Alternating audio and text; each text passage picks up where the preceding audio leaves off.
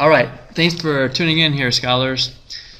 The example I wanted to do with you is an acceleration problem where, well, let's just read it together.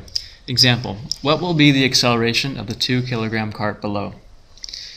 So we have a cart whose mass we're, we're given is two kilograms.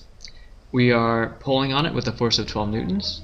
There is friction resisting its motion with a force of 2 newtons.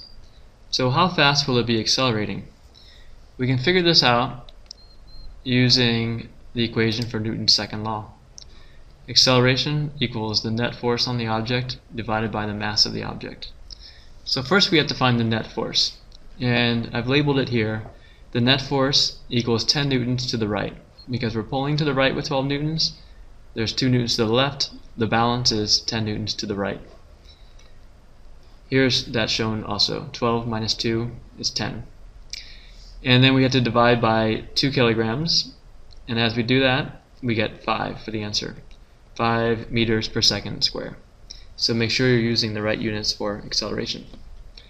Okay, so this is a good example for some of the practice ones that I assigned to you from the Newton's second law force problems handout. Especially number 6.